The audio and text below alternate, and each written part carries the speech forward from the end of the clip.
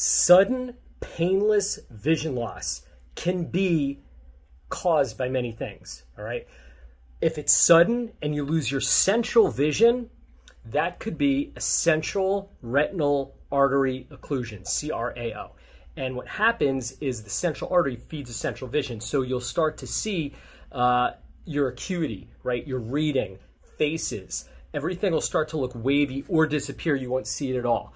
So these are medical emergencies. This is an eye stroke. That can be a hemorrhagic eye stroke where it pops a blood vessel, or it can be an ischemia where there's something that's blocked the blood vessel that's causing a lack of blood flow where the cells are going to starve and suffocate due to lack of oxygen and nutrients.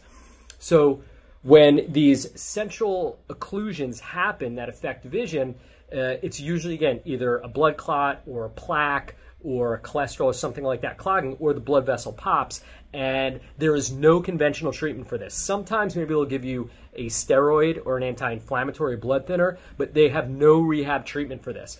Very, very important. We get very good results with this, and eye strokes are becoming more and more common.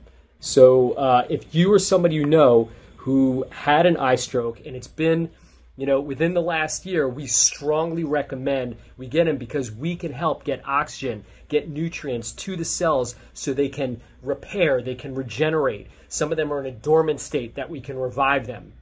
So, again, if you or anybody you know who are dealing with this sudden vision loss, an eye stroke, uh, time is of the essence. So, reach out to us at our clinic, get in touch with us, email, phone, however you want to get in touch with us. Uh, we are here to help you recover your vision. Dr. Andy Rosenfarb here with AcuVision Recovery, where your vision is our mission.